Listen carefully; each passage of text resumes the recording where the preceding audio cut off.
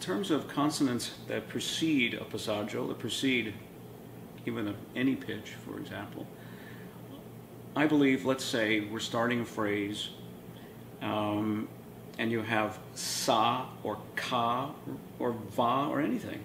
I think you set yourself up for the position, which is, let's say, the amount of space you would need in the back for that note, for its vowel. The consonant will automatically be forward, let's say. So we should be thinking of the vowel space that may happen after the consonant, sa, ka, but yet making sure that we're thinking of preparing the space for the vowel that comes after. So we shouldn't be thinking of the consonant as just forward or in the case of a G, G or a K, let's say if we're thinking a little on the downside. I don't think we need to think that.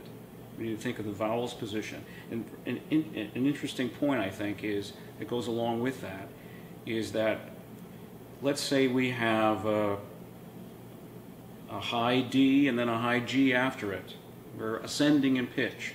Should we be thinking about necessarily the space of the higher note as we prepare before we start singing the phrase? If we're ascending to the high note, should we be thinking of the high note's position early? Not necessarily. Only if the lead into the high note is a short rhythmic duration. Ah, for example. If, we, if it takes some time before we get to the high note, we should prepare for the first note's position in a phrase, not the highest notes of the phrase. We should know mentally, the professional singer should know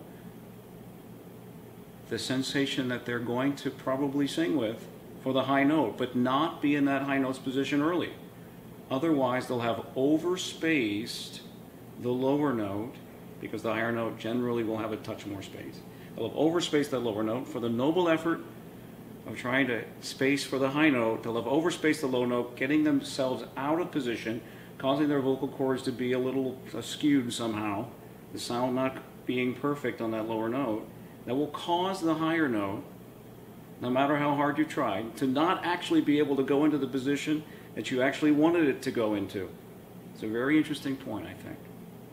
Okay, so every note counts. Every note is in a slightly different position.